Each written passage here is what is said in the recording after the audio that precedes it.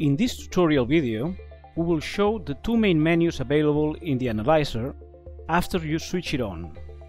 The main menu is the Home menu, where we can access to the following analysis tools and features. TV Analyzer.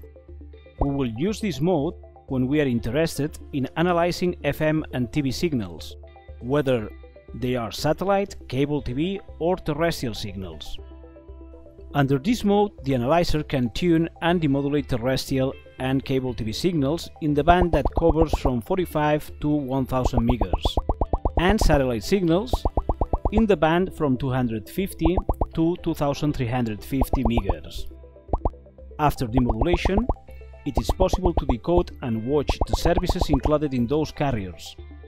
Other tools included under this mode are the Dynamic Echoes Analysis, Constellation, MER by Carrier, Merogram, Spectrogram, Transport Stream Recording, Shoulder Attenuation, Coverage Analysis, DVB-T2MI Analysis, LTE Ingress Test, Network Delay Measurement, Field Strength Measurement, Carrier Frequency Drift Test, and many more. The second feature in the menu is the Spectrum Analyzer mode. We will use this mode to tune and take RF measurements, power level and carrier noise, over any carrier located within the band from 5 MHz to 6 GHz. This mode can be extremely useful as well to evaluate LTE carriers, satellite C-band signals directly from the dish LNA, etc. There is no demodulation in this mode. The third tool is the IPTV analyzer.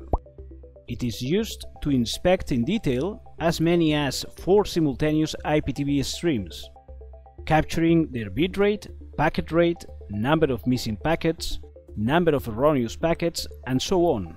Services can be decoded, recorded, and watched on screen.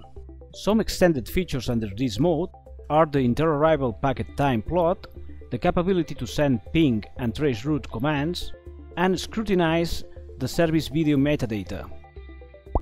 The OTT mode is meant to analyze OTT services under MPEG- dash or HLS protocols. Video services can be played out and a browser can be used for navigation and content perusal. The Wi-Fi mode provides a comprehensive analyzer for Wi-Fi 2.4G and 5G. The Network Analyzer mode lets us run a physical test over the Ethernet cable. Other tools that can be found here are the analysis and assessment of traffic, speed testing, and an integrated web browser. The analog input mode will show us the video content that has been input through the VA input. The ASI mode integrates several tools aimed at analyzing in-depth transport stream signals, for instance, a transport stream analyzer, a bitrate analyzer, and an alarm analyzer.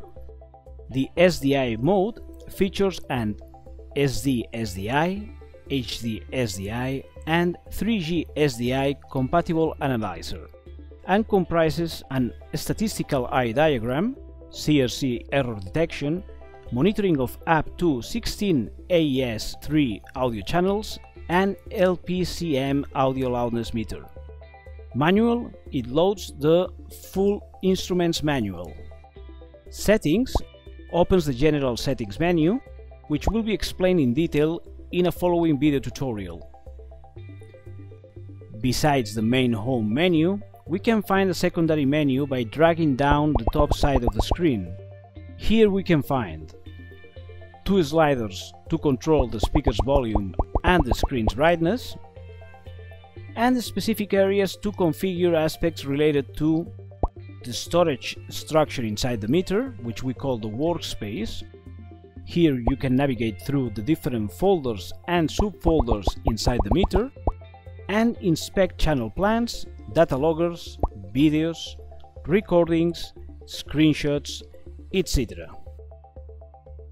You can identify here as well the USB storage that can be connected to the analyzer, and set up the analyzer's Ethernet connectivity, a plugged external GPS geolocation device, a Wi-Fi plug-and-play dongle, or the analyzer's HDMI interface.